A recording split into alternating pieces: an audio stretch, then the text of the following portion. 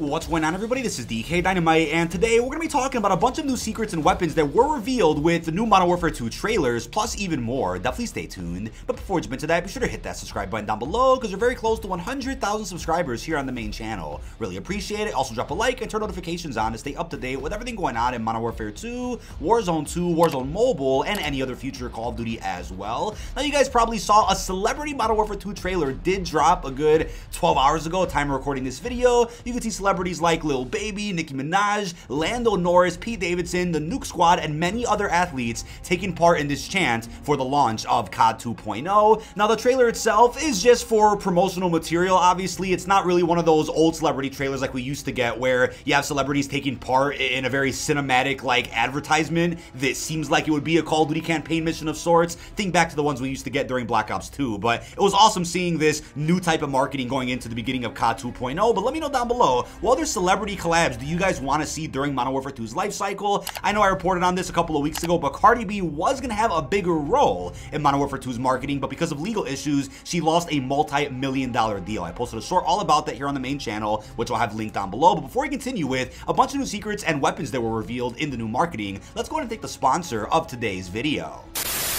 Now tonight's video is sponsored by Atlas VPN. A big concern in the gaming world is having your data taken from you, but with Atlas VPN, you can stay under the radar when playing games or browsing the web while retaining ultra-fast connection speeds. You can also prevent websites from tracking your info and selling targeted ads to you. You also don't want private conversations to be read by the websites you use either. It blocks all malicious links, ads, and trackers, and will notify you when someone is trying to steal your data. One of the best features is being able to view content that is blocked in your region, whether that be a website website or show over on Netflix. We all know the struggle with that, right? Well, you can log in with Atlas VPN and get access to videos that aren't normally available to you by changing your IP location. You can also get discounts on products that may be cheaper in other regions too. Right now, Atlas VPN is running a huge discount. It means you can get a three-year subscription for just $1.83 a month, plus three months for free with a 30-day money-back guarantee. Timer's running out though, so get your deal by clicking on the link in this video's description or the pinned comment, and thank you to Atlas VPN for sponsoring tonight's video.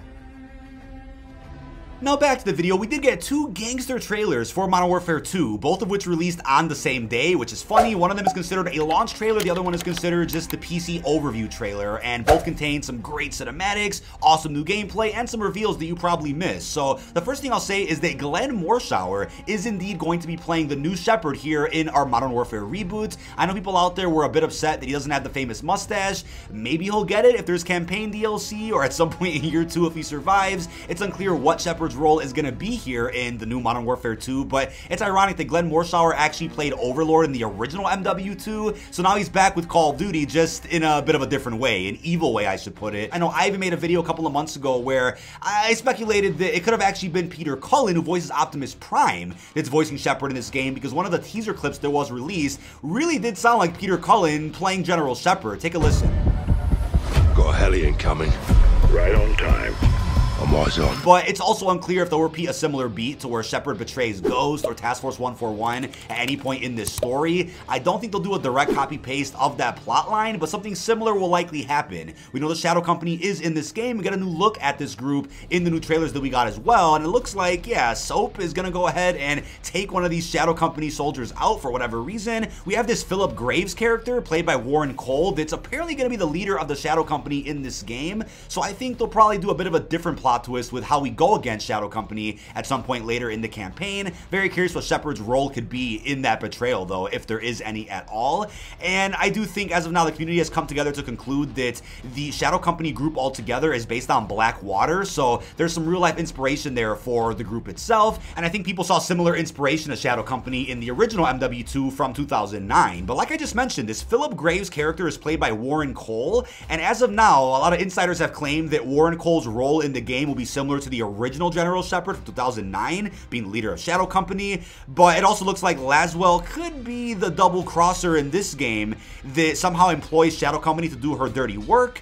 and it also seems like she makes an agreement of sorts with this new character that we see also in the trailer. But it's funny because a good year ago, we had RalphsValve claiming that Warren Kole was going to voice General Shepherd in this game. Not saying that couldn't have been true at one point in time, but it's funny seeing how many times Ralph has claimed something super specific that just didn't come true. Not to say that a lot of things that he did claim weren't true, because I know there are a few things out there he reported on which are proven correct, but there's a lot of other things that just weren't correct. So that's why I say take every rumor with a grain of salt, of course. But if Ralph is to be believed about the themes of this upcoming campaign, he claimed the following about the themes themselves rule of law versus law of criminals, and morality versus morality versus immorality. We have revenge, containment versus eradication of crime, sacrifice and perseverance, duality, insanity, madness, transformation, and the hypocrisy of Western imperialism. So I definitely think you can see a lot of these themes already from the trailer of Lone, really setting the tone for what the campaign is going to be like. But it could be another classic example of somebody throwing crap at a wall and seeing what sticks. And then it could have also been educated guesses based on the tone that we saw in MW19, which could have easily been used to determine what the tone could likely be in the Modern Warfare sequel. So with that being said, those are some of the big takeaways from these trailers, but there's a lot more. Don't go anywhere. So now when it comes to some weapons,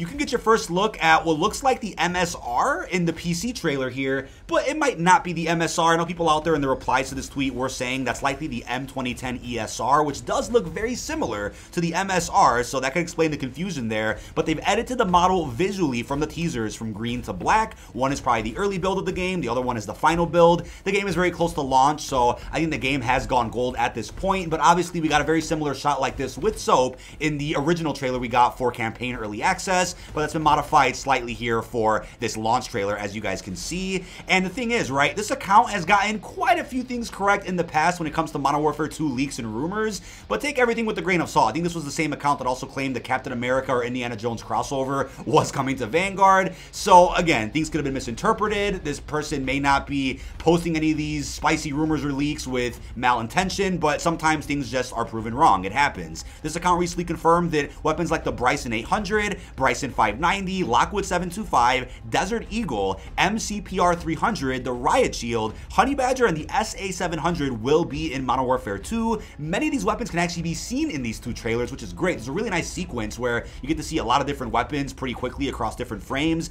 It was a phenomenal part on the editor's job to kind of include really cool edits like this in these trailers. But also what was noticed during the multiplayer beta is that the MCPR 300 is part of the Bryson 500 weapon progression tree. So with that being said, that also lines up with the leak from the same account who said that that weapon is going to be featured in the game at some point in time. We then have a report from the Ghost of Hope that the AK is going to be the biggest weapon platform in Modern Warfare 2. You can see different versions of you can see different versions of the AK across different trailers and promotional material for Modern Warfare 2. We're going to be seeing the AK-105, the AK-103, the AKS-74U, the RPK, the PP-19 Bison, and the PP-19 Vityaz. I probably said that completely wrong, but yeah, that's going to be a huge weapon tree, some very different weapons in the same progression path, which does sound very exciting. And again, a lot of these weapons are already seen quite a bit across different trailers and teasers that we've gotten for the upcoming campaign. Now, there's also some really good gameplay shots in here. We could see a new new version of All Gillied Up that'll be in this game. A lot more action over there in Chicago. Something big's gonna happen. So